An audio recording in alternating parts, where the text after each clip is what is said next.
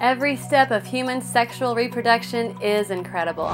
The process depends on the different biologies of the male and female reproductive systems that make it possible for a male sperm to fertilize a female's egg, and for each parent to contribute genetic information to the zygote that results.